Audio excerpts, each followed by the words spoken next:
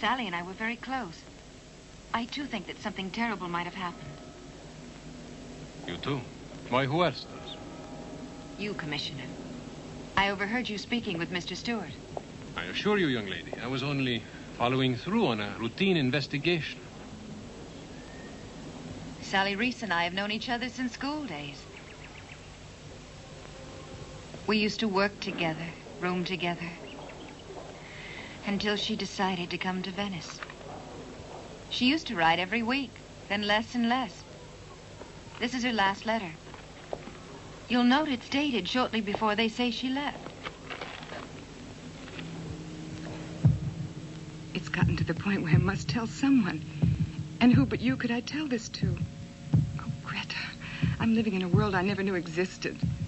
At times I feel as if I were being driven by another will, a superior force that lures me even as it repels me.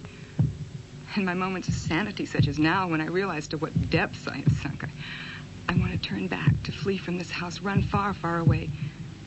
But then I'm prey once again, mesmerized by their evil, unable to escape it, and then not wanting to escape it, a willing slave in this world of perverse pleasures.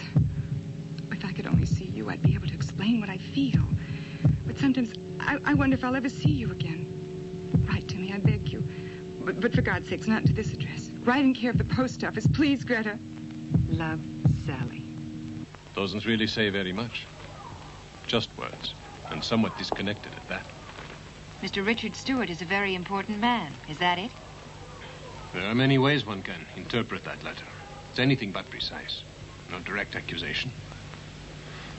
What are you going to do now, Signorina? I'm going to stay on in that house until I find out what happened to Sally. How did you manage to get employed there? Sally and I both worked for Stratton, Richard Stewart's publisher. It was easy enough. Hmm.